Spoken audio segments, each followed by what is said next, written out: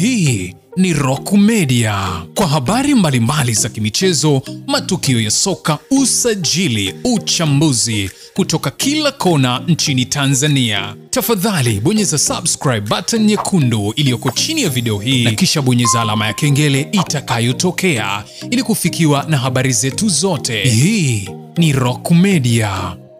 Bonge moja la bao linafungwa hapa kwenye uwanja wa Benjamin William Mkapa. Bonge moja la goli linafungwa hapa kwenye uwanja wa Benjamin William Mkapa. Mashabiki wa timu ya taifa ya Tanzania wameweza kusimama, wanaangalia kushoto na kulia, hawaamini kile ambacho kilichoweza kutokea. Mabeki wa timu ya Kongo hawaamini kitu gani ambacho kimeweza kutokea. Hii ndiyo timu ya taifa ya Tanzania, hawa ndio wapambanaji Hili ndiyo jeshi la timu ya taifa ya Tanzania. Hakuna ambaye aloweza kuamini siku ya hileo timu ya taifa ya Tanzania itaweza kupata alama tatu mbele ya timu ya taifa ya Kongo, lakini kile ambacho kilichoweza kutokea, mashabiki wa timu ya taifa ya Tanzania ndicho ambacho walichokuwa kikitarajia na ndicho kilichoweza kuwaleta hapa kwenye uwanja wa Benjamin William Mkapa. Timu ya taifa ya Tanzania inapata bao, timu ya taifa ya Tanzania inaongoza hapa kwenye uwanja wa Benjamin William Mkapa.